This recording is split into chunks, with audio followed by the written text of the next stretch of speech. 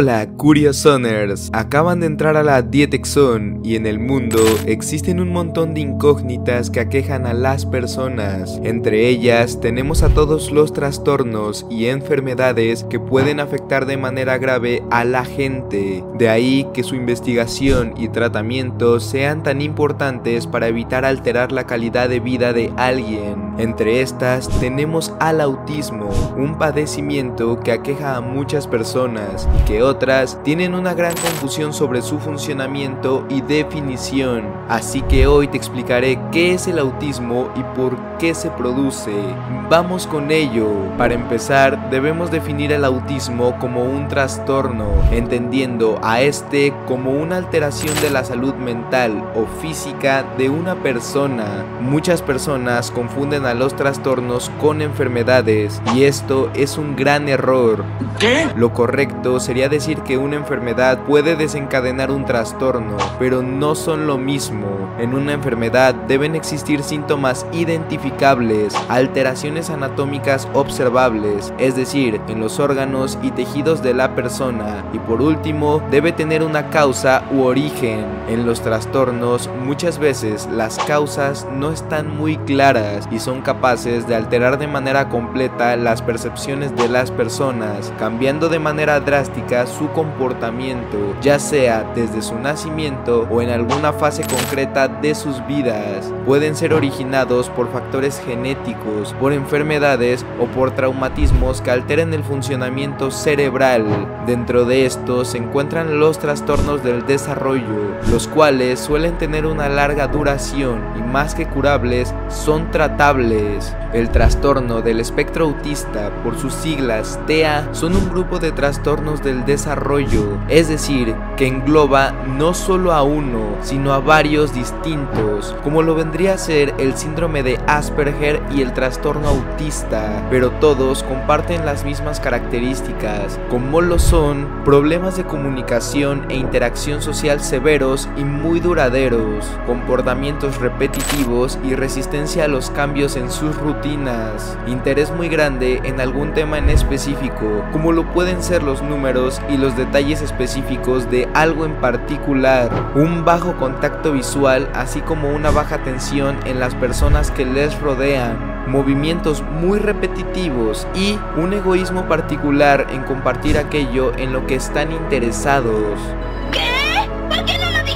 En síntesis, estas personas profundizan tanto en su propio mundo que dejan de prestar atención a todo lo demás, importándoles únicamente aquellas cosas que forman parte de su día a día y que captan todo su interés. En la contraparte tenemos ciertas cualidades muy específicas de estas personas que pueden ser tener una inteligencia superior a la media, ser capaces de aprender cosas con muchísimos detalles y en otras ocasiones pueden desarrollar grandes habilidades como el recordar la información por largos periodos, poseer una gran memoria visual y auditiva y sobresalir en matemáticas, ciencia, música y arte. En algunas ocasiones pueden desarrollar estas disciplinas a niveles sobrehumanos que los haga genios, otorgándoles el síndrome de Savant o el síndrome del sabio que ya veremos en el siguiente video. ¡Demonios, ¡Eres realmente un genio!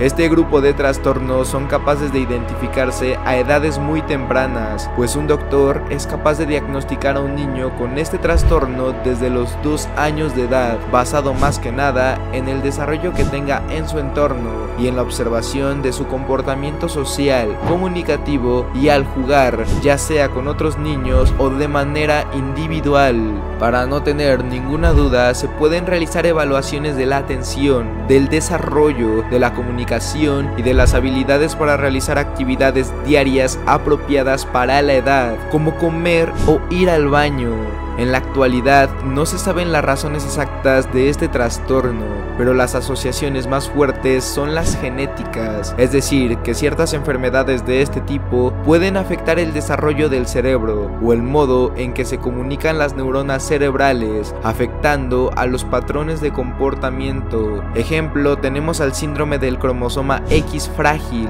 que causa una reducción en el aprendizaje debido a la discapacidad intelectual y que incluye al autismo autismo como uno de sus síntomas. A su vez, el autismo puede estar relacionado con mutaciones genéticas, ya sea heredadas o espontáneas, por lo que el riesgo de contraer este trastorno aumenta si en la familia existe alguien que lo padece. Por otro lado, se está investigando si factores como las infecciones virales, los medicamentos, las complicaciones durante el embarazo o los contaminantes del aire juegan un papel en la generación del trastorno del espectro Si te preguntas sobre las vacunas y su relación con el autismo, te daré de respuesta un tajante no.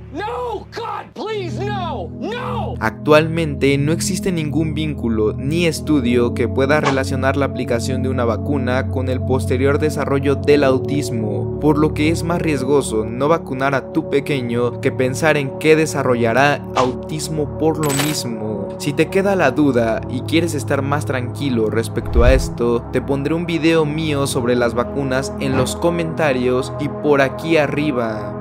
¡Qué buen servicio! Hay que abandonar el prejuicio de que las personas con autismo son poco sociables, ya que esto es más bien una consecuencia de las pocas habilidades que poseen para la comunicación y que se van agravando entre más se desarrolla la persona. También en los últimos años se ha visto un incremento de niños con este padecimiento.